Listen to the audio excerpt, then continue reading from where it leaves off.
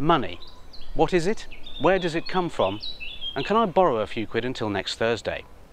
These are questions that have haunted ancient man ever since he first crawled out of the ocean nearly a thousand years ago.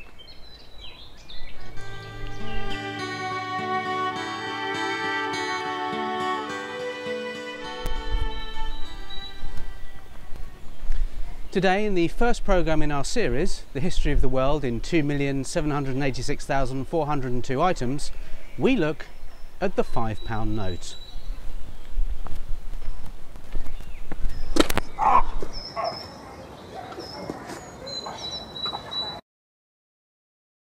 With me now is the Oxford Professor of Archaeology at Cambridge University, Professor Ronan Keating. Roland Keating. Professor, I believe you can tell us something about the early Roman £5 note. Oh, I can do better than that. I can, I can actually show you one. Um, oh, here.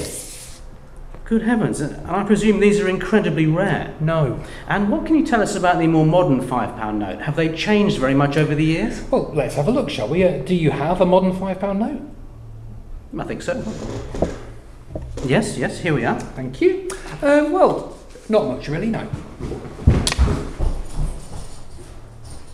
Well, there you have it. And now he appears to have it.